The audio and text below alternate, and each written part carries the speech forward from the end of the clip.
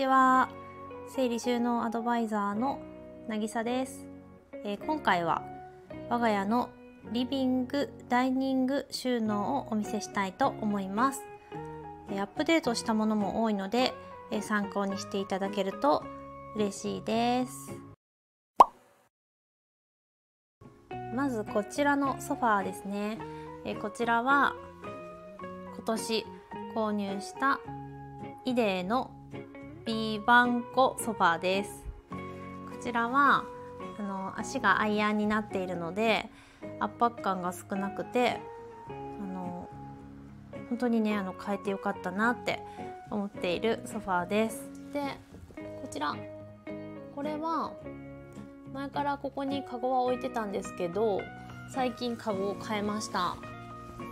子供が着替えをしてパジャマを脱ぎ捨てるのでだいたいリビングにカゴを置いているんですけれども愛用していた無印のカゴがちょっとボロボロになってきちゃったので IKEA のカゴに買い替えました。ちょっとまだタグついたままだからこのままご紹介します。ちょっと読めないぞ。読めないけれども商品名書いときます。こちらの商品になってます。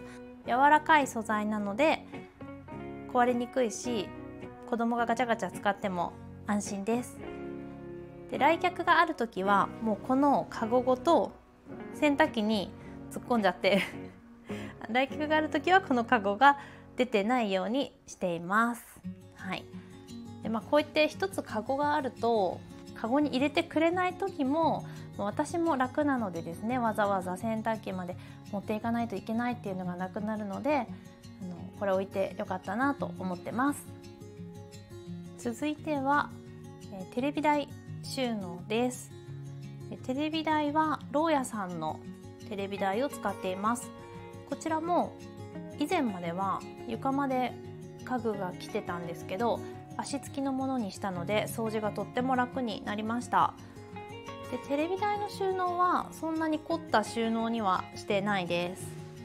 右側はスイッチのコントローラーとかが入ってます。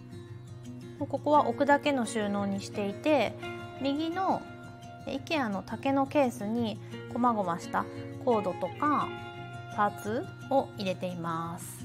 でこっちの、え左側はうちも置くだけの収納です。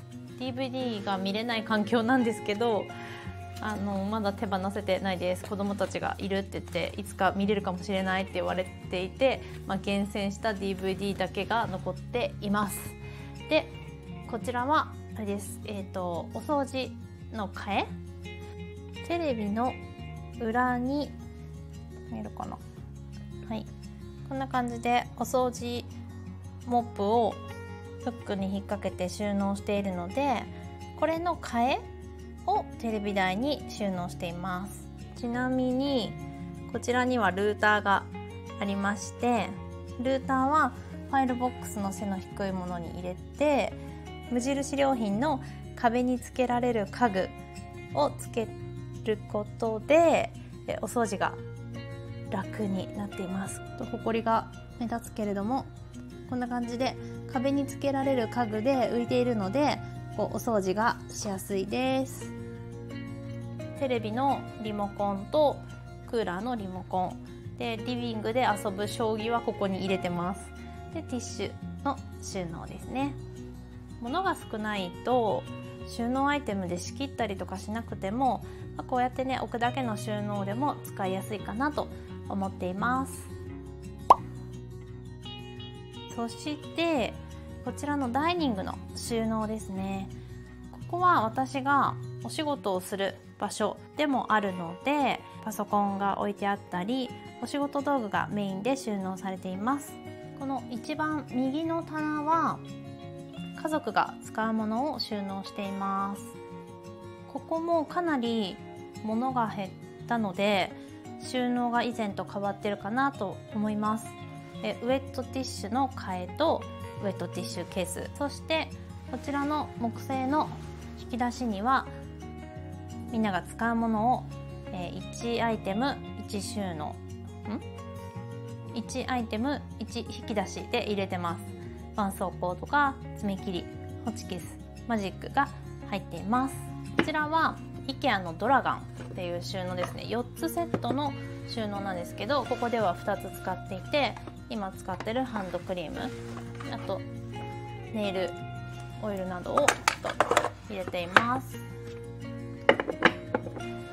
下の段は一番左は虫が出た時の殺虫剤。あとは蚊取り線香と蜜ろうクリームがあります。こちらは子どもの工作グッズがまだ入ってますね。ダイニングで宿題をする時のペンとか消しカスクリーナー鉛筆削り消しゴムがあります。ハサミがどっか行ってる。ハサミも最近はもうここに置いてますがどこか行っちゃってますね。そしてこの椅子のちょうど後ろは私のお仕事グッズをまとめて収納しています。こちらはそんなにすっきりはしてないかな。ノートが多いですね。で上の段は一軍のペンとかスケールスタンプなど。で2段目がマスキングテープですね。ここはガジェット類がごちゃごちゃっと入ってます。そしてノート類とここはあのパッと取れるようによく毎日のように使うものたちが入ってます。このスタンドは毎朝スタンド FM でラジオをする時に携帯をパチッと貼り付けて使うためのスタンドです。ハサミとかですね。で下の段は私の柔らかティッシュとか一眼レフあとはスクラップのノート。こちらも文具がガチャガチャっと入ってます。文具好きなのでメモ帳とかねちょっとしたお手紙書く可愛いですね。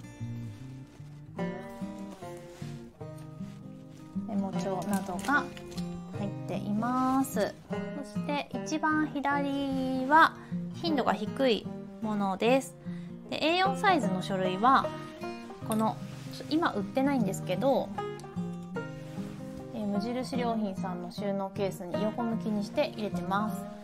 中に小さいファイルボックスも入れているので倒れてきたリクシャットになることはないですね。あとはこれは裁縫セットとか CD ですね。領収書過去の領収書や年賀状と本スチーマーがあります。ミンスゲームですごいものを減らしたのでこの辺もすっきりしてます。もう裁縫道具もこの途端に入れなくても小さいものでいけるんじゃないかなって思ってるぐらいですね。もう少しすっきりできるんじゃないかなと考え中です。そしてこのドローアラインは黒に最近変えました。